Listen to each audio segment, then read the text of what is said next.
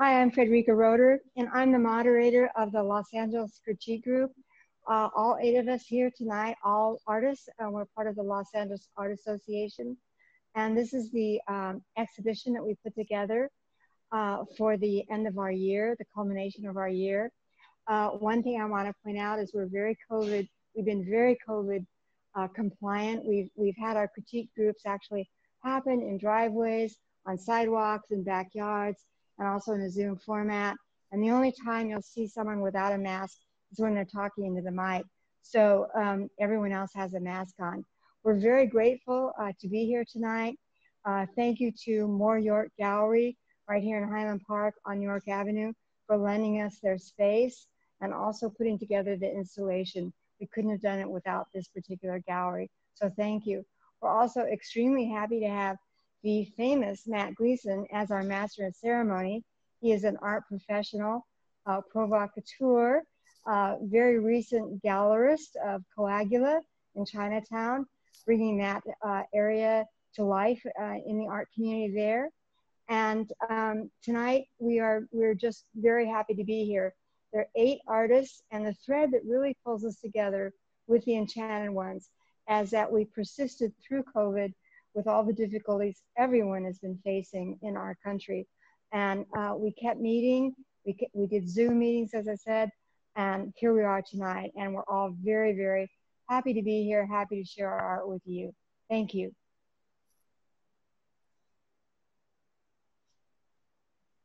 Now, are you going to talk about your art, Fredrika? Now, the uh, next person to come on board with us tonight is our MC, uh, Mat Gleason, who's going to give us uh, basically an overview and introduction of the exhibition. And also at the closing, after all eight artists have talked about their work um, and Mat has responded to each of the artists, then Mat's going to give us a brief um, closing about the exhibition and that will, uh, it's basically a, a replacement for what would be a real live opening. So we're doing our best to bring a virtual live opening. Thank you this is the part of the opening where uh, when the person starts talking, you, you, know, you run out, you grab a drink and you just run out. I don't want to hear them talk. So, but now you're stuck with this. Uh, I, w- I was at the opening last night. Uh, everybody had masks so on. Mat, and uh, say again. No, you're good. Great. Oh, Thank okay, you. okay. Uh, so I was at the opening last night, and um, uh, everybody had masks on. It was good social distancing, and uh, the York Gallery is a great venue. Uh, the work was hung well, and um, you know, it was it was a great great selection of artists. Uh, I, do do do you want me to start talking about your art, Fredrika, or do you want to talk about it? I'm going to talk about my art first, but why don't you go on with a little bit more of an introduction? Oh, I just I, I look. It was it, it's the, these types of uh, groups are really necessary, and I always encourage artists. You know, you're you're you need to know other artists. You need to interact with other artists. Uh, when someone knows you and knows your art and likes you, they can vouch for you uh, I think it's it's vitally important for artists to be more involved uh, with other artists uh, socially uh, and professionally. Um, and you know, you know, curate as many shows as you can. Don't wait around for the fairy gallery godmother to come wave their wand and, and give you a show. That's not going to happen. You you you got to get out there and, and, and make things happen. And, and these are artists that are making things happen. They're they're showing their work. Uh, they're being part of the art world. They're creating their little corner of the art world and from that, you know, careers can uh, careers can sprout. These are all. I was very pleased with all the art. Uh, it was a range. Uh, this is what I call a showcase show, where everybody has their own section. Uh, as a curator, uh, I can do a showcase show, but I can also mix and match, mix the work up uh, under a theme. So this was a good showcase show. Everybody had their own spot. Um, when you have a wide range, like you will see in this show, maybe it's better to do that because some of the work needs to be on its own uh, for whatever reason uh, and is stronger among its own among its own art. Um, but some of this work would would mix well. It wouldn't be the most impossible uh, curation. Uh, uh, but but all but all eight of the artists, uh, you know, have their own. They they are arriving at or have certainly established their own artistic vocabulary, and and there, there's there's a voice in all this art and uh, yeah, it was you know we had a great time last night talking about the art, and I and I you know I had certain assumptions about the art in the show, and uh, a lot of the artists dissuaded me from where maybe I was going, or uh, if I and, and I was hammering them last night. I'm going to be a lot nicer tonight for the public, uh, but I think it's I think it's important to have uh, professionals critique your work and, and and go at you. You know, you got to thicken the skin, and you got to you got to know like like what is your work about? It can't be about everything. So what is it about? And so we went at it last night a bit, and uh, and had a good time, and everybody was, you know, nobody beat me up for saying anything, so I survived that, and uh, uh, we you know, the whole thing was good. And uh, tonight I'll be, you know, I'm, I'm much more familiar with the work than thinking about it all day, avoiding the news, thinking about art. Much better, much better life. So, Fredrika, why don't you give us a, a rundown? All right, thank you very much, Mat. We appreciate that a lot, and we'll hear from you soon. Um, I'm Fredrika Roeder, and um, contextually, I, I feel like I'm a Southern California artist, and I'm very attached to the California Light and Space movement. Um, most of my work does deal with light, it does deal with space. I've always been fascinated by really the vast horizons that Southern California provides. Um, you'll see here on, on, on this wall, particularly, and also that wall, slices of my Golden State series. And the content of the work is actually very much about the sun. And I, became so fascinated with the sun and how it has impacted our culture, our population growth, our recreation, and brought millions of people to our state um, from all over the world and from within our own country um, to settle, to relocate, as well as to vacation. So I started thinking about the sun as one of the most powerful forces of nature, and and I I didn't want to romanticize it. I realized it's it's it's a powerful influence. It's a beautiful aspect of our of our culture, but it also can be a very negative uh, aspect. It can be very forceful. The UV rays are uh, very strong where we live. So I, I, that is essentially the content in most of my work as far as actually some of the things that I think about and use as an artist. I like to just think about the edge and I use it um, to divide up the space of a canvas. And I also use it um, as a way of taking your eye off the canvas. Um, if you're a viewer, you, you, you can be very restrained by the outer border of a piece of work. And um, I started thinking about that. Um, most artists are have certain um, restrictions in their studio space. So I thought, how can I make the canvas feel bigger? And I do that with the lines, uh, at very odd angles with no rhyme or reason. And also I'm replicating the concept of the UV rays that also refract, bounce around. So it has to do both with content and also with the uh, method that I like to use. The edge is also important to me. I think there's psychological, emotional, and intellectual issues that we, we think about all the time as artists. And some of that, I, it, it comes from extreme sports uh, background in my life, in my family, etc., where speed becomes uh, an, an, edge. So um, as I as I work, I reflect upon things, and that's very important to me, and exploring that uh, in my work.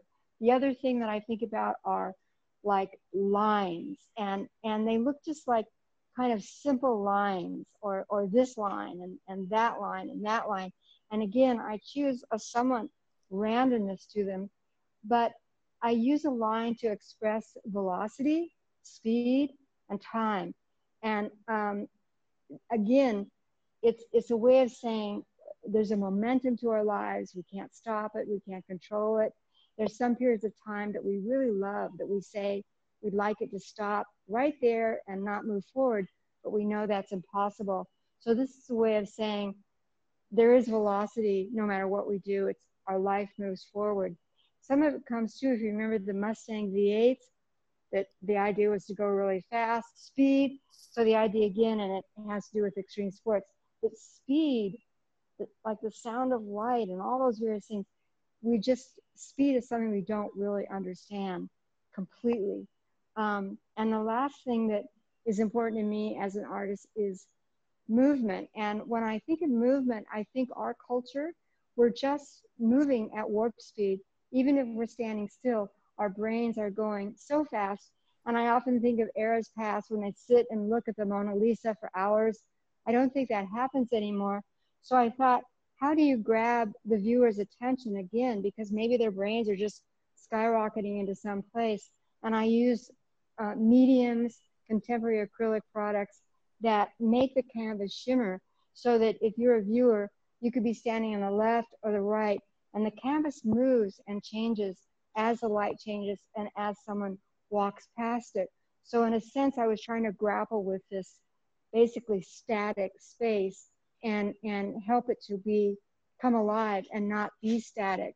And like up in that corner is a it's I blended it almost with the canvas, so it's very subtle, but there's a shimmer there. So hopefully it brings your attention up to that space. And then as content, maybe you could think, is it sand? Uh, what, what is it? You know, what is the sun hitting? These two pieces here, I'll talk about just a little bit. You can ask the question, what do you do in the sun? And you sometimes have a lot of fun. So beach back one and beach back two. Thank you so much. I uh, appreciate your time. And we'll go to the next art. We'll go to Mat. Oh, hey, the thing I appreciate so much about Fredrika's work is, is anybody working in a reductive vocabulary uh, is kind of up against uh, not, they're, they're sort of challenged to not bore the, um, the, the, the, viewer. And uh, a lot of people, you know, especially in a museum setting, you're going to walk past the minimalism and roll your eyes. And there's also a very macho, harsh, rugged uh, sort of uh, approach to minimalism that, that uh, when a woman does it, all of a sudden, uh, that you you know it's not this statement of I'm going to do the least for the most. It's you, you, all of a sudden there's these environmental concerns, and uh, you know just conceptually, it's actually there's more going on even in the same reductive painting. Uh, so, but I've always been a fan of uh, Fredrika's work. She's uh, a great colorist.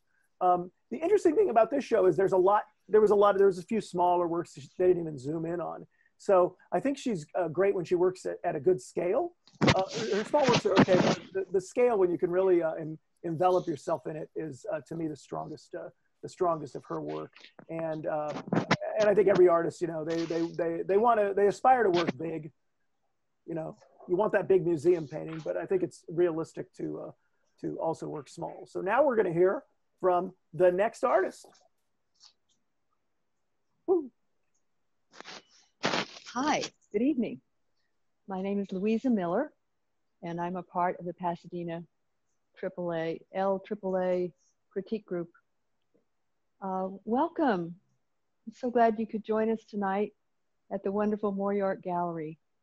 Uh, uh, my exhibition here tonight uh, shows that I've been working on uh, California landscape uh, recently.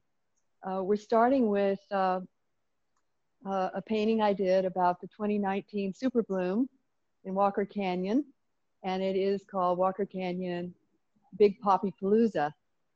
Um, I, I have a deep love of landscape painting and, and landscapes and uh, a, a uh, constant awareness of light at all times.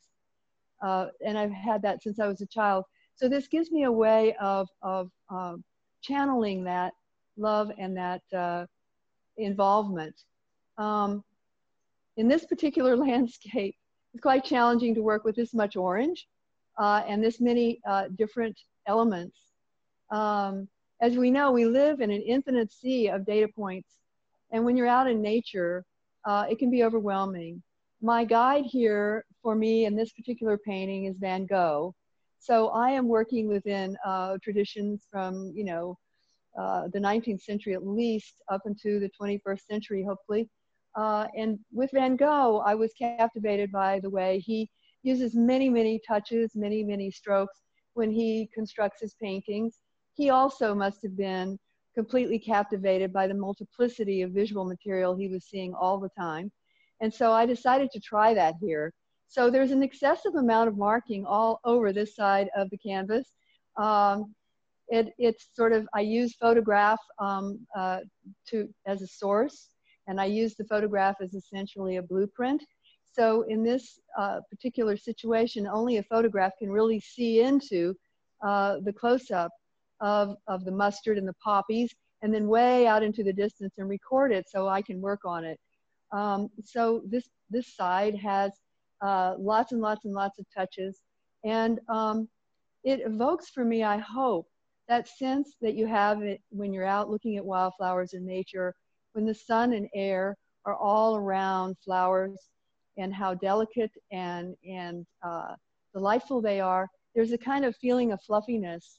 And I think the Impressionists must have seen that too because they love to make lots of touches and it gives you that feeling of air and light around things uh, and that sort of um, just that that buoyancy of it all and the joyfulness of it. So i worked on that here. I tried it and i, I really liked it but it is it's uh, it's a challenge let's put it that way. Um, and uh, I, uh, this painting i think places itself in the 21st century because of of the high power lines and the people that, that was a random group of people that were uh, in the shop when i took it and I found that they were very appropriate. Um, they're they're not really uh, thinking about anything about me and my art. They're involved in looking at the poppies and enjoying it. There were thousands and thousands of people there, and we all got to share that. And I had a grand experience with it. Okay, so I'm going to take you now to a little bit different uh, expression of landscape in Los Angeles and in Southern California in general.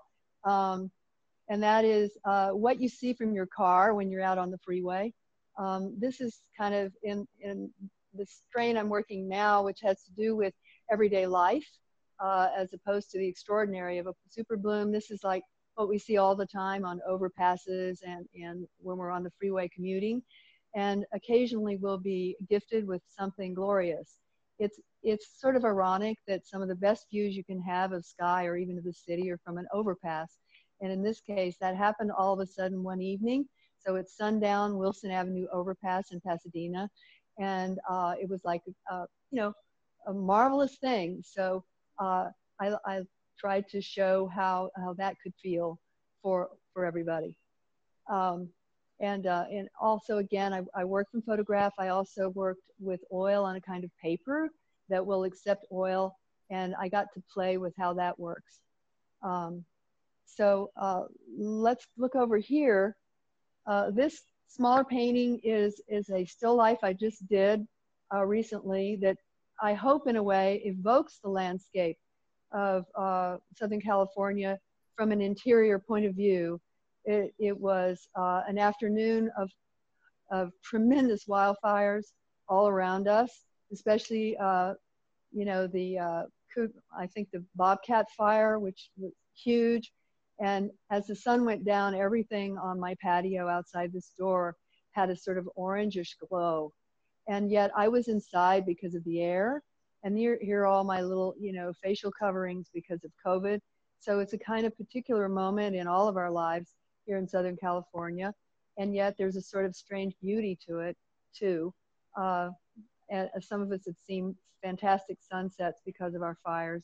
So there's a kind of bittersweetness to it for me uh, and, and that's and and that uh, occurred there. And the same kind of uh, event occurred outside my uh, front door. This is this is actually my front yard. It's called Shoppers Lane in Pasadena, and this is what I see when I go out every evening. And this is a sundown after a, a, a rainstorm.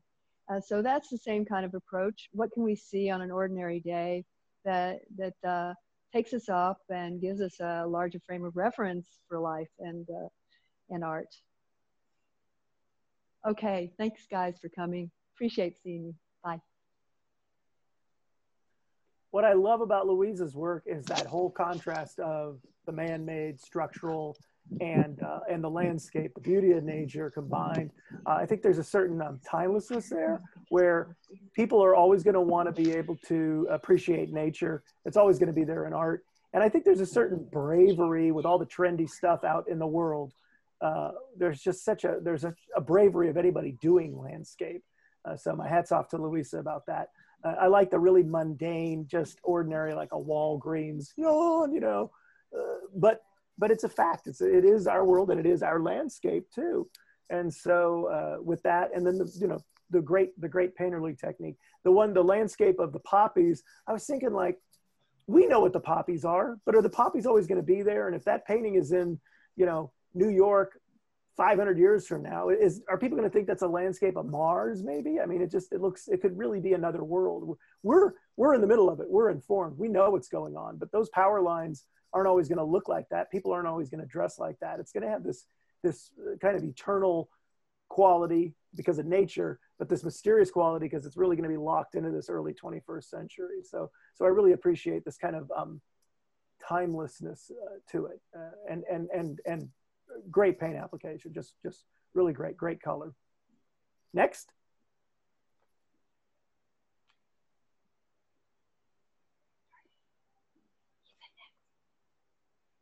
Start talking. Oh, okay. I was waiting for the. Oh, you're waiting for me. Hey, Mat, it's Moira. Hi, How hi. are you? And hi, everybody on Instagram Live and Zoom land. Um, so it's Mat. I can't see you, but I can hear you. Uh-oh. And um, it's interesting, we had that talk yesterday about uh, the French tradition with the black cat paintings. Um, and then I was scrolling through Instagram this morning, and Jerry Saltz and Vintage Illustration Gallery both had um, nude women or Greek mythology mixed with cats. Um, and so, and they're both turn of the century paintings that had, you know, sexual overtones. So that was really interesting to see these two new works in, in context of what we were talking about last night. So for my viewers at home, these cat paintings are a little bit more of my lighter side in terms of they're more fun, they're kind of a pop art layout, they're in a grid like this. And I selected these for this venue because they're at an affordable price point and with COVID and the economic challenges that everyone is facing, it's nice to have something that's small and collectible, although of course you can get a big grid like this as well. Um, but I want to focus a little bit more on some of these larger pieces. And speaking of Greek mythology, um, around June, I started to really miss being able to go into museums live. And a number of museums like the Getty and the Met in New York are putting their entire collections on a photographic open access database. More American museums are doing this than European museums right now although hopefully it's a trend that'll continue because it allows you to study masterworks at home. And so I did something which, even though I've been painting for more than 30 years and have more than 1,000 works of art, um, I've never done some of the traditional things because I was always more motivated by my inner emotional world and more of an expressionistic application of paint or highly conceptual um, complicated, you know, intellectually complicated works that were based on fonts and translation and you know issues of globalization and and and values in society today. But I turned to these databases, and I was especially drawn to the Greek era. And speaking of Jerry Saltz, winding back to that, also in his feed today, he had a head of a man. It was a bronze sculpture, and one of the comments was, "I find this so comforting right now." And that's kind of how I feel about Greek sculpture circa 200 uh, BC. And um, so this sculpture is entitled Possibly a Goddess, which is, and it's a, it's a realistic ish um, interpretation of a terracotta head that's actually quite small. And the designation, I'm sure you know, Mat, um, possibly goddess, is often used when they're not sure if it's just a regular woman that is being represented, that is being flattered by being made to look like perhaps Praxiteles' famous uh, sculpture of Aphrodite that we don't know what it looks like anymore, or if it was actually intended as some type of religious object or reminder of the Greek goddess Aphrodite or another. Um, but this, the, I love the, the languid expression, and I try to really get a feeling of the weight uh, the actual sculpture is quite small. So what I've done is, is give it a sense of monumental, monumentality and hopefully sensuality as well. Although it's also, um, it's not flesh. It's uh, an inert material that's, you know, 2000 plus years old. So it has that hopefully unknowability too um, that for me made the original artwork compelling and something that I wanted to respond to and connect to. Um, we have another work that's similar to this. This is a new series basically that I'm starting after my last series was 108 font-based paintings. They're all based on translations of positive words into multiple languages. They're abstract. You can see them at moiracue.com. Um, but this work is, is a new new just direction for me to go. And it represents sort of where I'm at emotionally and, and maybe comfort is part of that. But um, speaking of the Aphrodite of Praxiteles, um, and I'm for some reason I find that the hardest word to say, but this this is also a statuette. Um, I believe this is actually a Roman copy of a Greek copy of the original Aphrodite that is in a small statuette, and then I've painted it and expanded the size.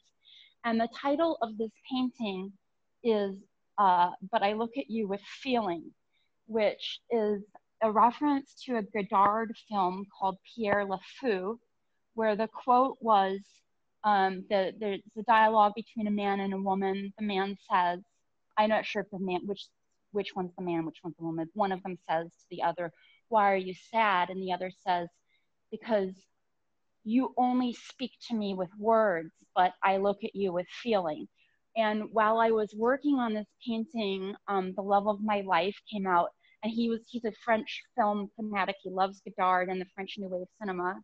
And he said, "Oh, I just heard this most beautiful line in this movie I'm watching," and he recited it to me, and it sort of moved me, and it I felt that it was in harmony with, um, you know, just what the piece represents, what the mythological character of Aphrodite represents, is is the goddess of love, and I also think that tonight, and with everything that's going on now, um, it's nice to think about Greek culture as the, the birthplace of the Socratic movement and also of democracy.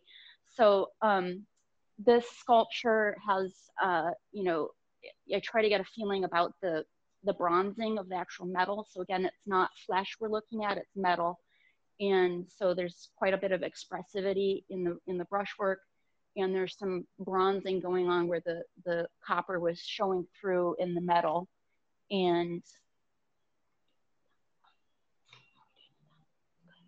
so I guess I don't want to take too much of our time. We can peek at these pieces really quick. These are some mandala pieces.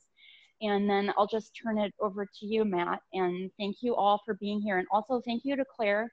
I hope you guys get to see some of the stuff that's in the gallery too, because Claire is also an amazing collector and artist.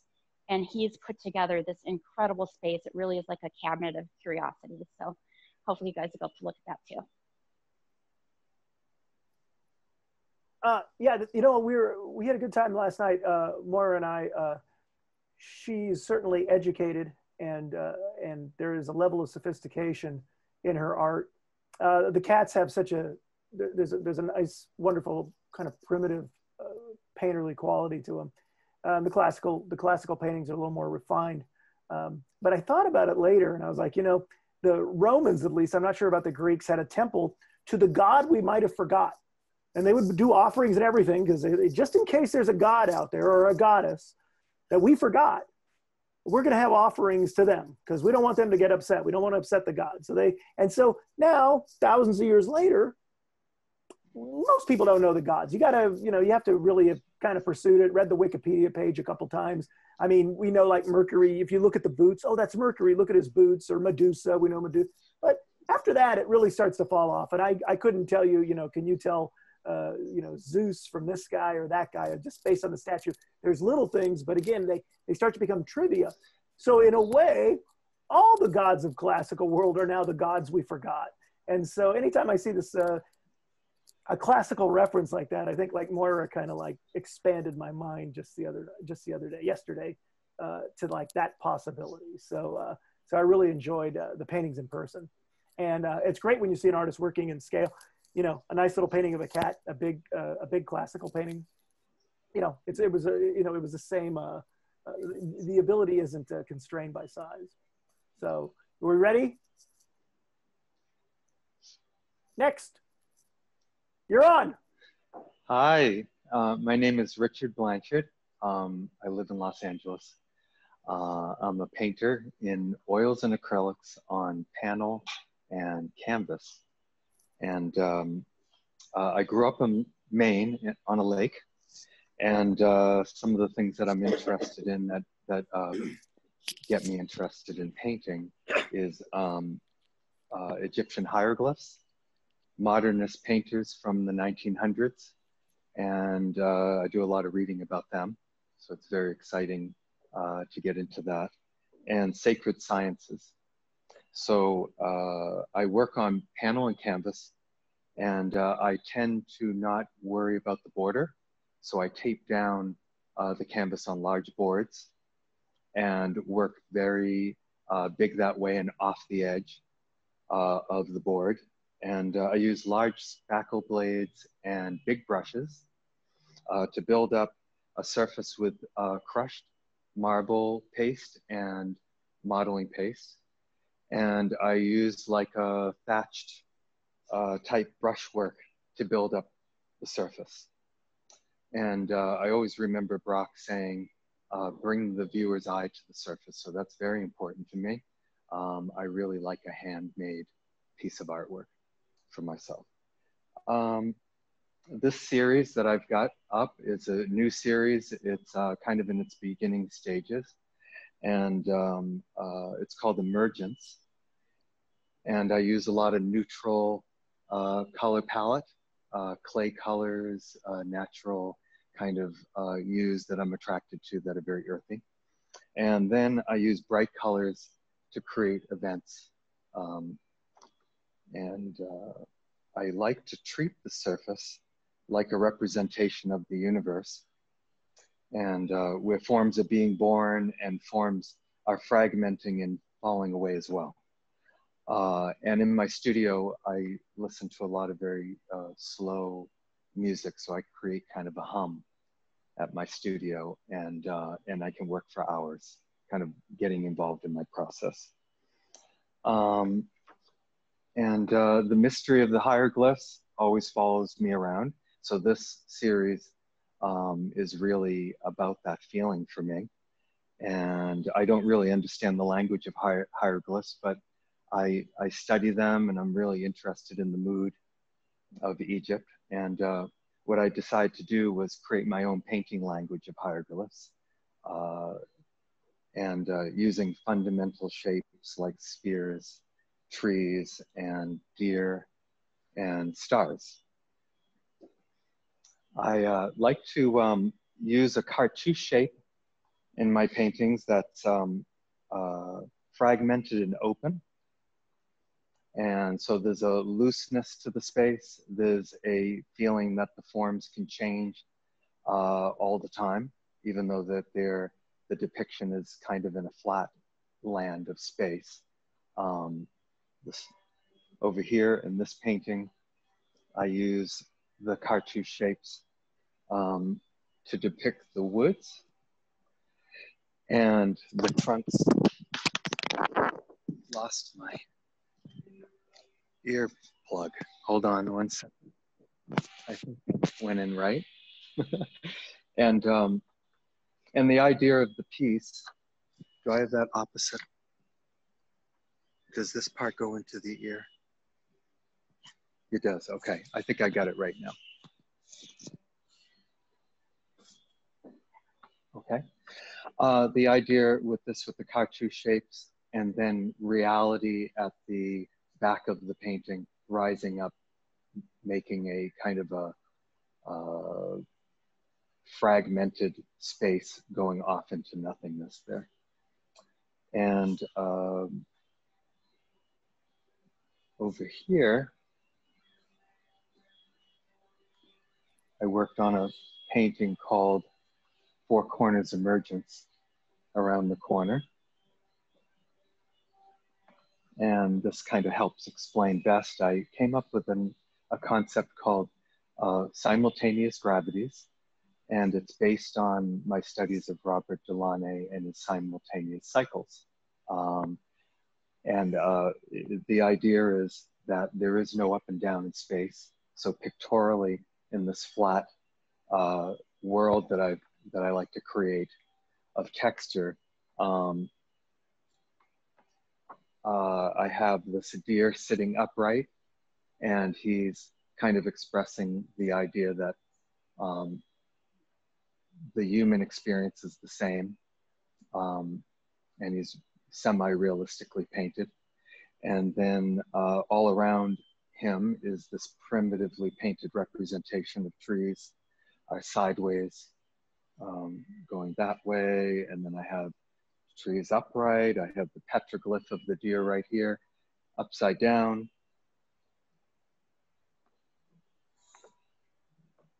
And I want to talk about the critique group for a moment. Um, all eight of us artists, we get together monthly. And um, and what we what we uh, realized was that by talking about the work uh, that we were viewing, we would describe what we were actually seeing in the work as opposed to hearing the artist talk about their work. And so that was uh, very important for me because it got that dialogue going and I was able to bring that to my work um, more than I was before. Um, and last night, Mat Gleason uh, critiqued us, and uh, it was a great critique. Um, he did say, though, that my work was all over the place, and um, uh, that kind of shocked me. But I, I brought him over to uh, Four Corners Emergence, and I said that I really like to do an entire series of emergence based on the style of this work, and uh, he thought that was a great idea. So uh, I thank you, Matt, for that. Um, uh, and then I want to lastly talk about my studio again.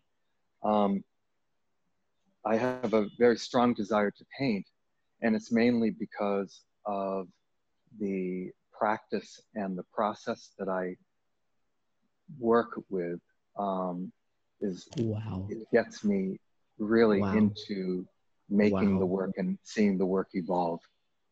Um, and then Amazing. there's all kinds of surprises with that process. So I have an idea going into the studio, but it's more that the process will figure it all out for me, and then I can make decisions from there. So thank you very much for viewing. Thank you, Mat. Oh, thank you, Richard. Uh, and, and the Four Corners Emergent piece I thought was the most successful relative to the fact that um, the size of it really allows the viewer to uh, to uh, just kind of jump into a dreamscape.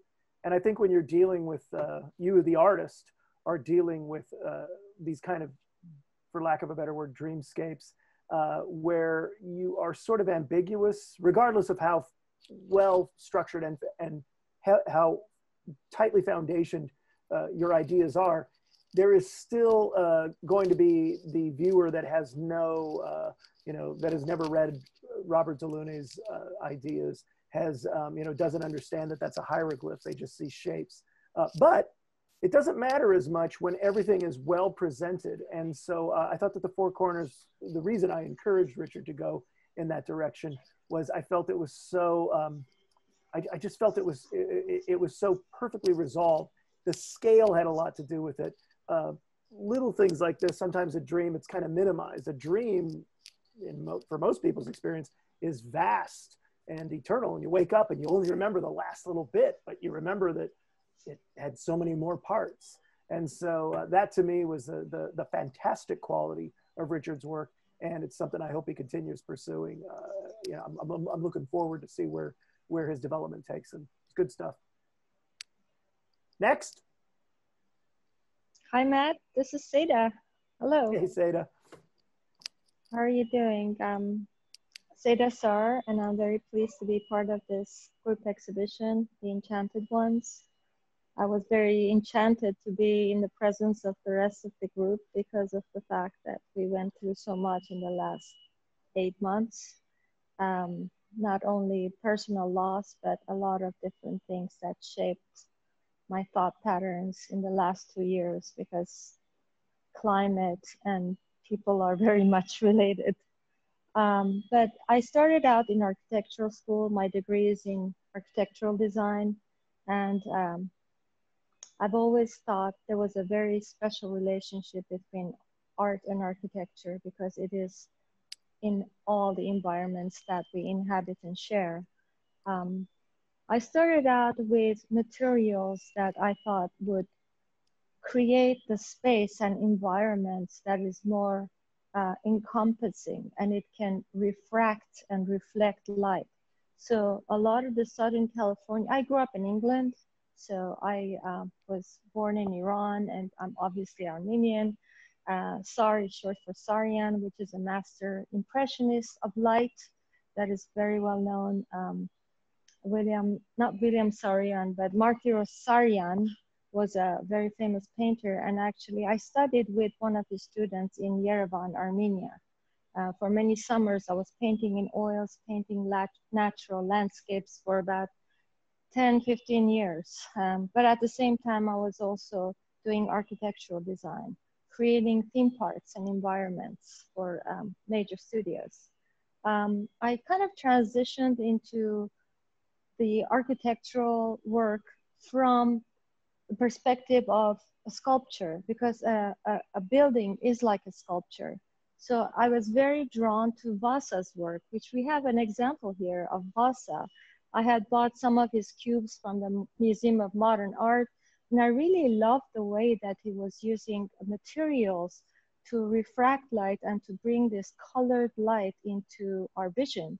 And I was always drawn to that. And so he inspired me to do the GeoCube series, which on the top here, you can see the perceptual changes of the cubes as you sort of a bird's eye view, going back in space and distorting really your imagination. um, more recently, I've been exploring materiality again using the canvas as a background or the mirror as a background.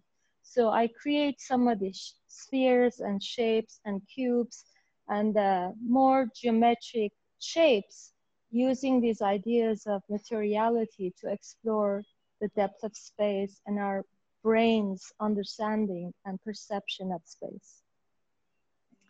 Um, here, I'm actually exploring light more. On the bottom here, I had just seen an exhibition of James Turrell and I, I was very drawn to his work. So uh, some of his works obviously influenced by Josef Albers uh, and uh, all the modern historical Bauhaus artists that, you know, I studied when I was studying the Bauhaus movement. Um, I've always been a big fan of Gerhard Rietveld uh, and a lot of the builders, people who are building not just furniture, but spaces, um, as well as uh, bringing optical art into a, into a new way of understanding space. Um, my uh, goal is to be able to create this space, maybe virtual and real, that you can live and you know enjoy and experience. So my work is about experience and it, it really moves with time and space. It's it's a lens through time in a way that refractions change as you move around them but it's not just about the materiality. It's more about the form and volume. And i express those by creating a model in 3d in virtual space and uh, later on having it actually fabricated with laser cut materials. Some of the earlier works here, you can see influence of Josef Albers. And um, again, I'm showing a lot of changes as the earth is changing, as the space is changing. Everything that we know and inhabit and share changes all the time. So my work is about change. That's all I have to say. So Seda's work, uh, it really does reflect her architectural background. I think more than uh, more than just a, a, a more more than casually. Uh, and I look forward to seeing where she is going with this um, this approach. It's a very linear approach, uh, but everything about her art is really is experiential about bringing you into the uh, into right there, yeah, into the work and uh, so I do think she may end up uh, wowing us even more when she can uh, get some of these virtual things at, uh, into, into being sculptures. So, so that's what I'm looking forward to uh, as I see this artist progress. Um, and also, I, I, would point out that just because she's a geometric artist, uh, she's not a minimal artist. This work is very much about having totality of experience with a lot of things, not just a minimal vocabulary. And so uh, that to me was the, the, the, a very important. People see geometric abstraction and they immediately think minimal. There's nothing minimal about this work. And uh, I look forward to, I, I think uh, there's an old joke. Uh, it says that uh, uh, sculptors are failed painters. And wait, wait, wait, oh no, yeah, a sculptor is, a painter is a failed sculptor. A sculptor is a failed architect. And an architect is a failed God. So I think that Seda has a, a great um, a sort of foundation in painting to work to work way way ahead of where she is now. And and and I, it, it's it's in a way it's it's it's cool work, but it's very sensual. Uh, and and and the color uh, don't discount the color either. I, I was it, was great. It was great. Uh, it was great seeing it all in person last night. So uh, are we ready with the next one?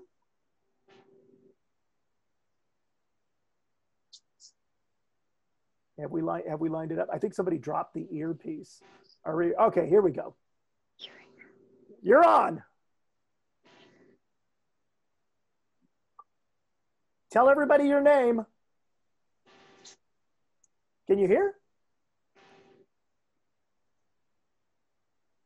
Hi guys, I'm Viktoria Romanova and I'm delighted to be here with my friends from uh, Pasadena Critique Group at this exotic um, gallery. I think everybody from away should visit this place. It's absolutely unique.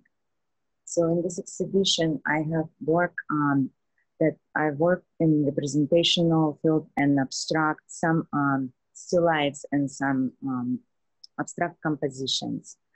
I um, use um, just uh, freehand in work and um, my um, all work based on geometry and color. So for um, um, uh, still life, I use um, sketches and uh, I use my memories and um, um, from, from places and from um, different times. Um, I don't need to be actually uh, particularly in Paris uh, to create this um, still life. Uh, I just um, use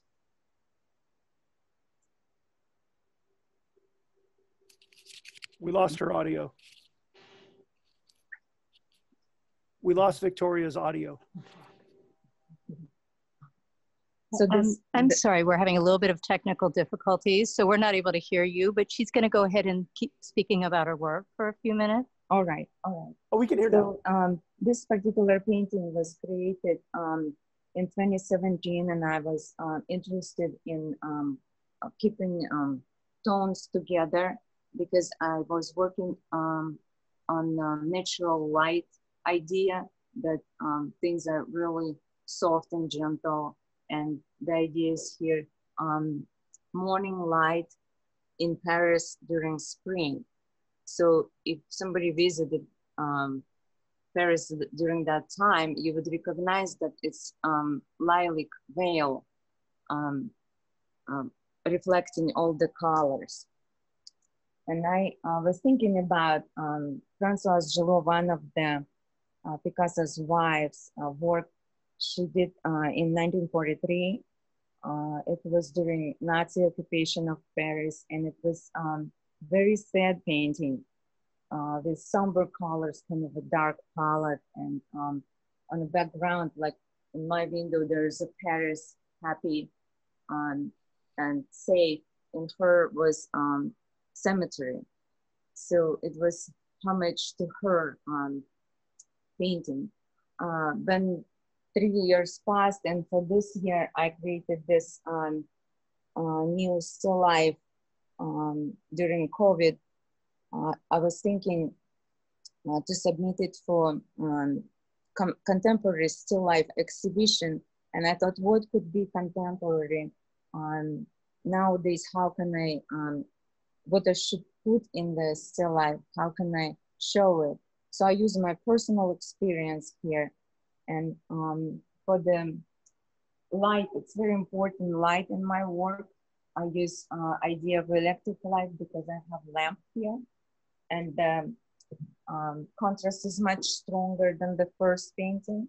And I'm interested in um, two views. There's uh, top of the painting is frontal view, and the second part is a view from above. And I was using um, ideas like if snake, there's eggs because snake come out from egg, and there's um, uh, seashell because it's also spiral um, form. And if it's uh, scallop, maybe it's related to lemon shape. So it's just a play of things.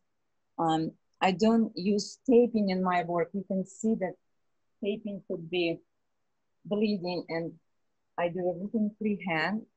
Um, and uh, sometimes I have to get something underneath the color. Like you can see here is green was underneath the pink because I couldn't get the right color. Um, so sometimes you have to put something underneath or on top uh, to, to get what, what you want. So I have another piece here and it's um, abstract composition. And I thought about um, participating in the LGBT uh, of Pride, and I um, highly support this movement. And I thought about creating a piece with using um, all colors of rainbow. But uh, I also thought about Matisse um, snail piece that had such a interesting movement um, on the circle movement in his work. So I kind of used that idea there. And um, for the um, um, main things, I didn't want to have a center there. I thought about um, working around the center and um, it come out like I have two centers there. I was thinking about my um, stepdaughter at the time uh, she's supposed to get uh, get married in April. Um, her girlfriend and um, COVID spoiled everything, and it was um, kind of sad time. But I know they will be together, and they will have bright and colorful life, and very happy. So the title is um, Together. And um, for me, was idea of light here, like it comes kind of from the behind the canvas and I wanted it to be warm and kind and sweet and love, you know, like to have a, a great future for them.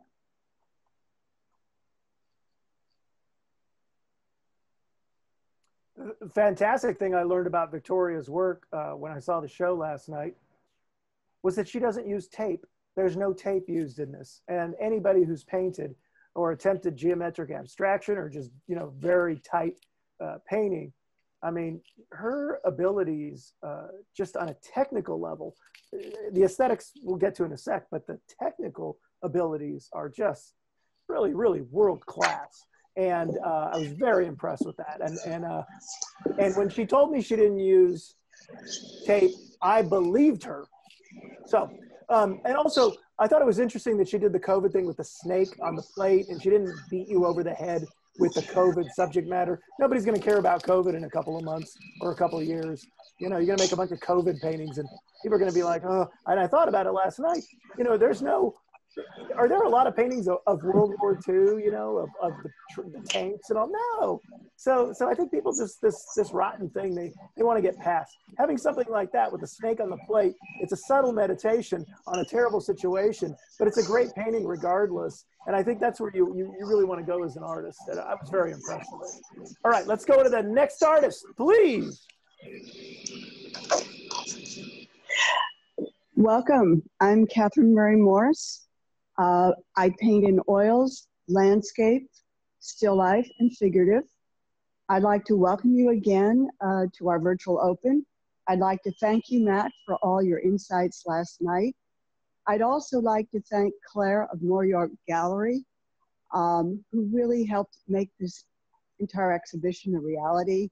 It's an amazing place, and if you haven't visited, you should stop by. Um, I'd also like to give a shout out to my fellow artists in the LA Critique Group of the Los Angeles Art Association. You're such a wonderful, diverse, and accomplished group.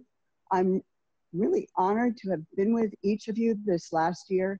And I've learned really so much about the LA art scene. Now, a little bit about me. Um, some of you may know me as a former banker, museum director, or financial planner. But what you probably don't know is that my entire life, I've always loved design, color, out of doors, and the arts. I used to take coastal walks and take lots of photos. And finally, one day, I decided it's, time, it's time to start painting.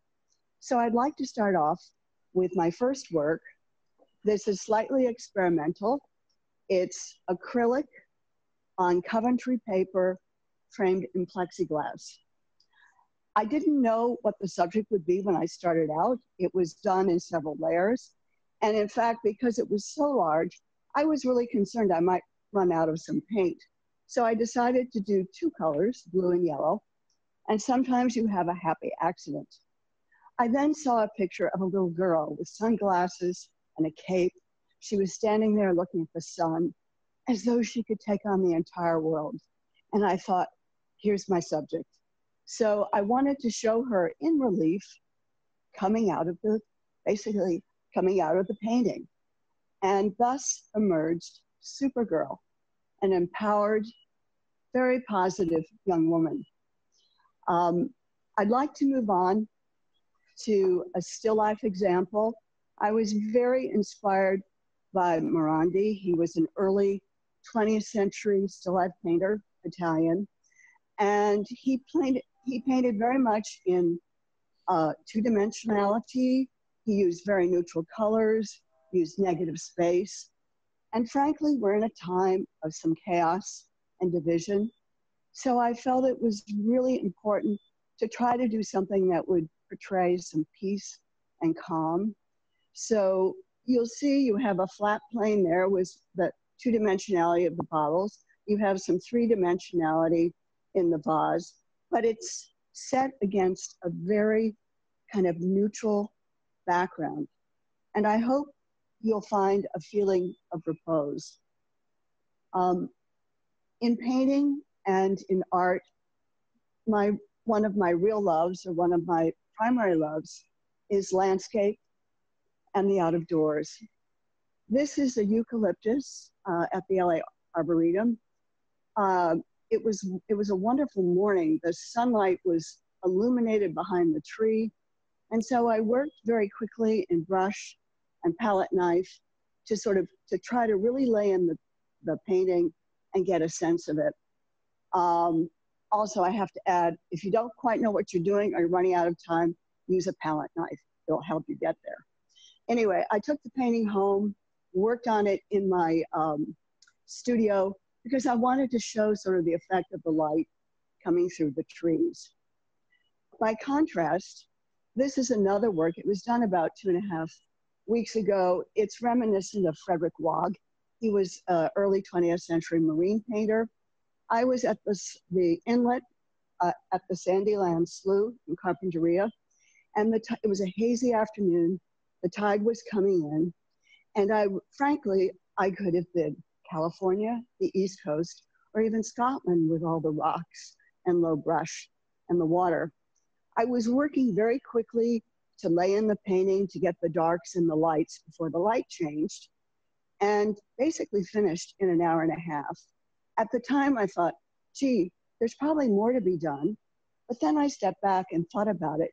And you know, sometimes less is more. So I left it alone. And finally, I just wanted to mention um, a, a, landscape scene. Um, it shows the skyline of Los Angeles. Again, it was a hazy, hazy afternoon. But what was so compelling to me was you have this wonderful city, Los Angeles, but then you have nature that is all around it and is really part of our world.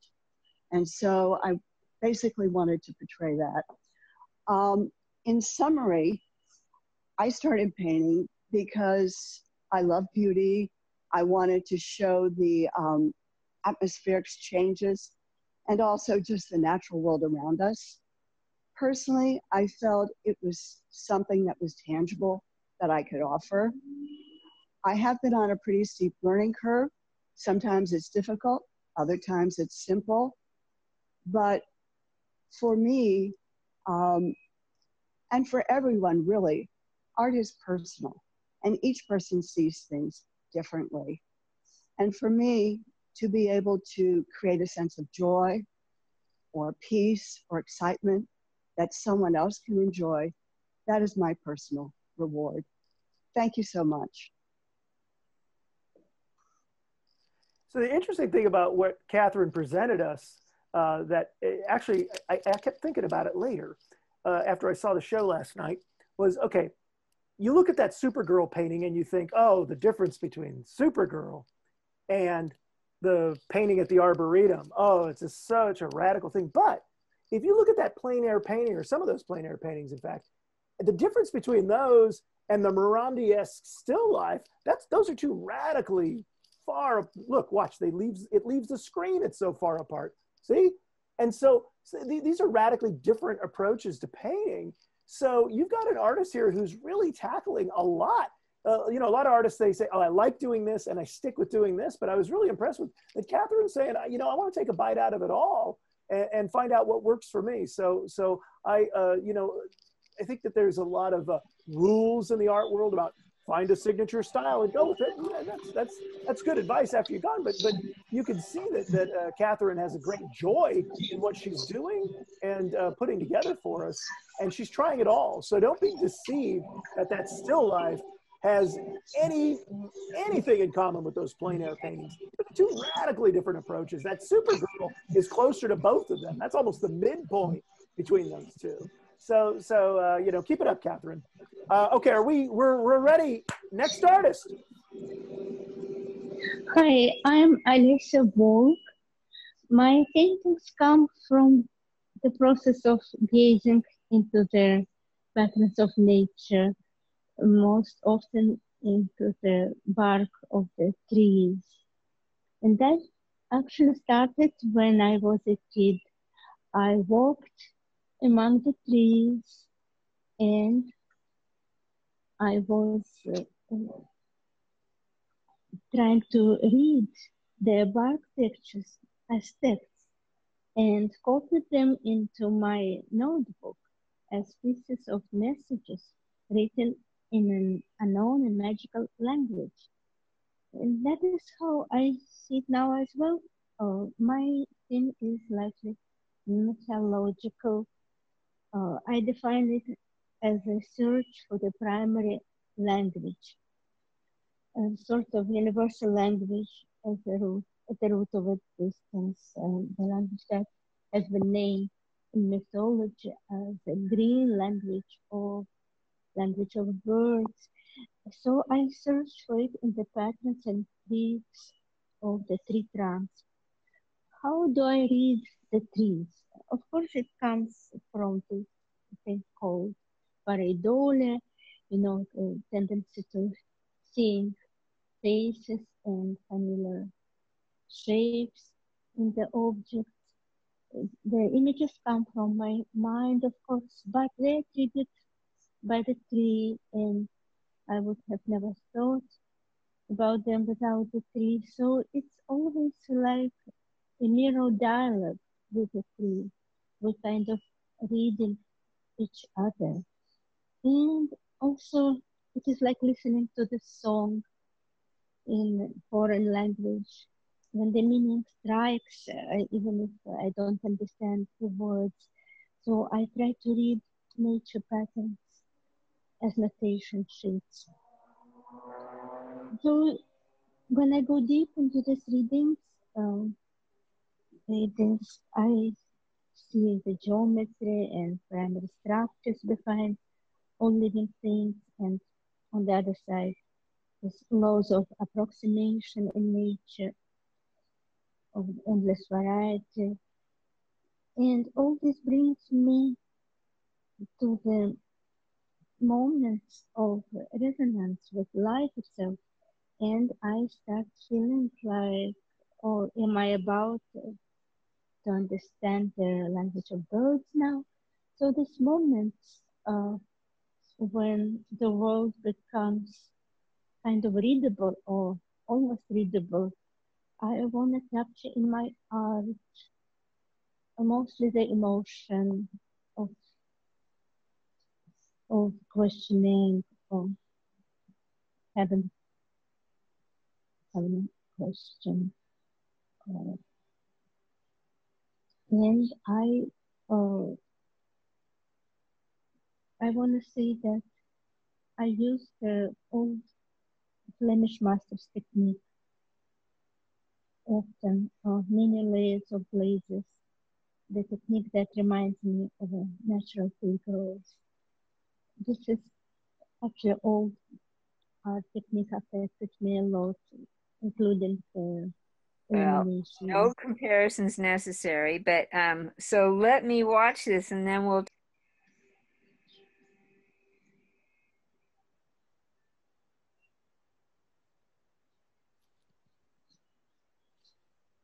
the the, uh, the audio's out on the artist. Oh, hi. Hey, uh, I've been following Olyessa's work for quite a while. Um, there's a couple consistencies of what she's doing that I, I really want to point out. She uh, she uses the same size canvas.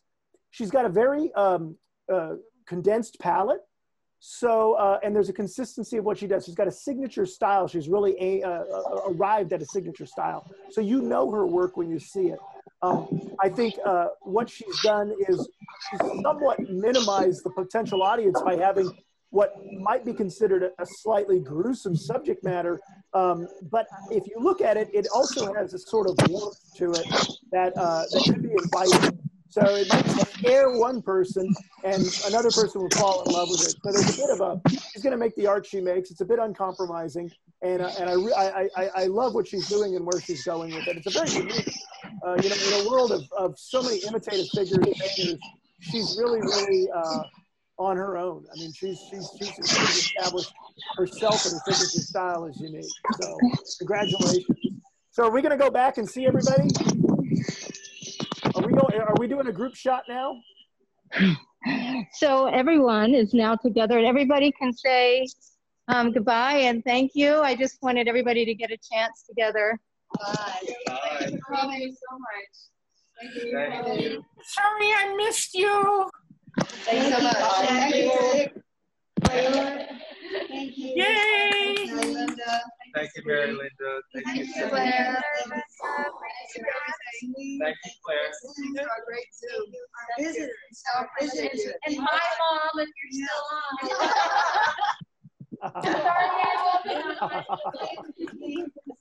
Hi from Oregon. Hi to Edie from Ren from Oregon. Bye-bye. Bye-bye. Thank you so much, Mat. Thank you, guys. It was great. Come on by the gallery. Yeah. Mat says it was great. Thank you all.